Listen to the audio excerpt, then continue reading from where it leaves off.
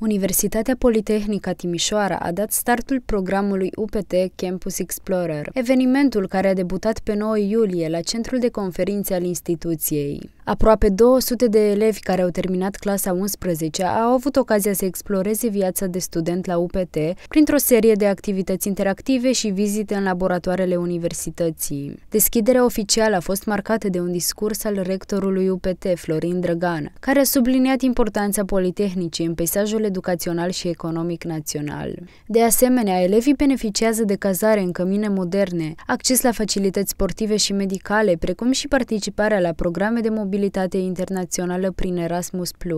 Elevii au avut ocazia să afle mai multe despre programele de studiu și oportunitățile de carieră post-absolvire, interacționând cu studenți și voluntari ai universității. Programul se desfășoară până pe 14 iulie și include o serie de ateliere și activități menite să stimuleze creativitatea și dezvoltarea personală a participanților.